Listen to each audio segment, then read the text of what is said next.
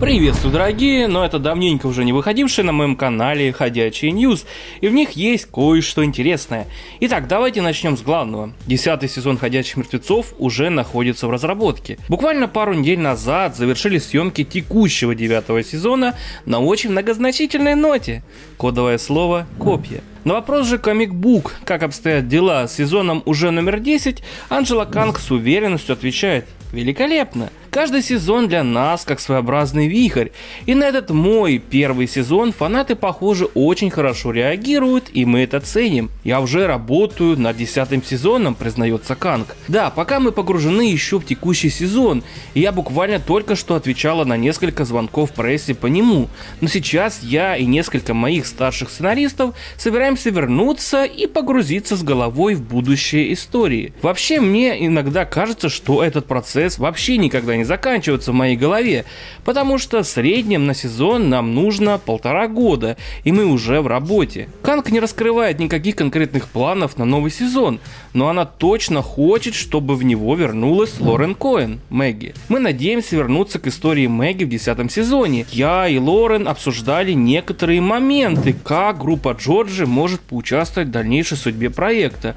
и какова ее роль во вселенной Ходячих Мертвецов. Это, конечно, больше полномочия Скотта Гимпла, но по нашему мнению, в мире вокруг наших персонажей много чего еще происходит, и это-то как-то пересечется с нашей историей. Итого, над десятым сезоном все-таки думают сценаристы, и он определенно будет, поскольку девятый сезон закончится вероятнее всего на жирном клиффхенгере, который нужно будет потом как-то разрулить. При этом сам канал AMC официально пока не продлевал проект на десятый сезон, и возможно снова думает над какими-то преобразованиями преобразованиями. Вообще AMC в последнее время не продлевает свои проекты очень быстро.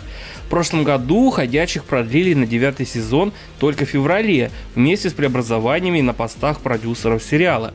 То же самое было и с БХМ, который продлили только в августе этого года. Возможно, боссы канала снова продумывают какие-то перестановки, потому что шоу теряет аудиторию, и, например, последняя вышедшая седьмая серия шоу собрала самую маленькую аудиторию за историю шоу. В принципе, это было прогнозируемо после ухода из проекта проекта двух главных героев Эндрю Линкольна и Лорен Коэн.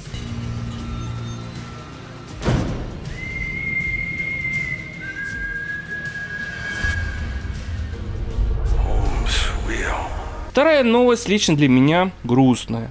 Все наши с вами мечты, что после Рика его место займет Ниган, разбились как лед об гранит. Во втором сезоне будет очень мало Нигана. По словам Анджелы Канг, в последние два года ходячие и так слишком много были сосредоточены на Нигане и Спасителях. Когда я приступила к работе в этом сезоне, со сценаристом я подумала, хорошо, мы как бы рассказали эту главу истории, поэтому давайте посмотрим, а каковы теперь другие персонажи сейчас. Ниган и его наследие – это то, что действительно тяжело переносят наши герои. И я захотела рассказать эту историю уже через них. Да, во многих случаях их отношения будут связаны связаны с ним, но мы хотим немного поразмыслить над его характером. Джеффри делает удивительную работу, и он это заслужил. Но я чувствую, что его история будет меньше в этом сезоне, заключила Канг. Слухи про то, что Нигана не будет почти что во второй половине сезона ходили уже давно. Его практически не видели спойлерщики на съемках, да и сам Джеффри в основном это время проводил или на телешоу, или дома на ферме со своими любимыми альпаками. В комиксе Ниган сыграл очень значимую роль в развязывании войны шепотами и даже потом принимал в ней активнейшее участие. То же самое время, скорее всего, как таковой войны в сериале в этом сезоне точно не будет. Войне будет посвящена добрая половина десятого сезона, если не весь сезон, и держу пари, уж там-то нашему-то Нигану дадут воли разгуляться. Наконец, третья новость, скорее всего даже и не новость, а просто теория. Шестилетний перерыв The Walking Dead привел к тому, что самым близким оставшимся в Александрии для Мишон стал никто иной, как Сидик. Некоторые фанаты, в том числе и я, думают, что это неспроста, и их отношения могут вылиться во что-то таки побольше, учитывая, что Мишон осталась одна, а арка Мэгги и Данте из комикса пока не воспроизведена никак. Но сам актер Ави Нэш говорит, что отношения у них все-таки скорее семейные, а не романтические. Они оба объединены преданностью Рику, и когда он ушел, оставшиеся члены Александрии, Джудит и Мишон де-факто стали семьей Сидика, говорит актер. С другой стороны, семейные отношения также могут означать и что-то большее, чем походы до хилтопа, и странно бы было, если бы актер заранее заспойлерил такой интересный поворот событий. По словам Эндрю Линкольна, все-таки его герой уже точно никогда не вернется в проект в привычном виде.